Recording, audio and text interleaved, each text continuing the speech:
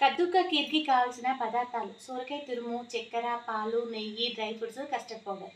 ఒక మందపాటి గిన్నె తీసుకొని దాంట్లో నెయ్యి వేసుకొని నెయ్యి వేరయ్యాక డ్రై ఫ్రూట్స్ వేసుకొని వేయించుకోవాలి. ఇలా వేయించుకొని పక్కన పెట్టుకోండి. అదే నెయ్యిలో సొరకాయ తురుము వేసి వేయించుకోవాలి.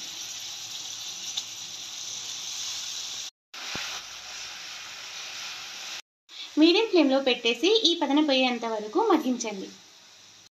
ఇలాచి చక్కెర వేసి రెండు నిమిషాలు మగ్గించండి.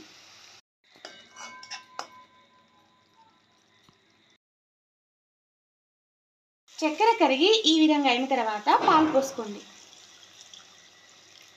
మీడియం ఫ్లేమ్పై ఐదు నిమిషాలు మగ్గించండి.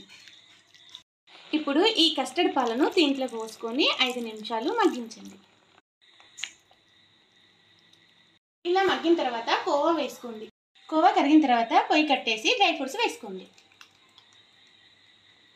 ఎమ్మి కద్దుక రెడీ. ఎప్పుడూ పాయసమే కాకుండా ఇలా కీర్ చేసుకోండి.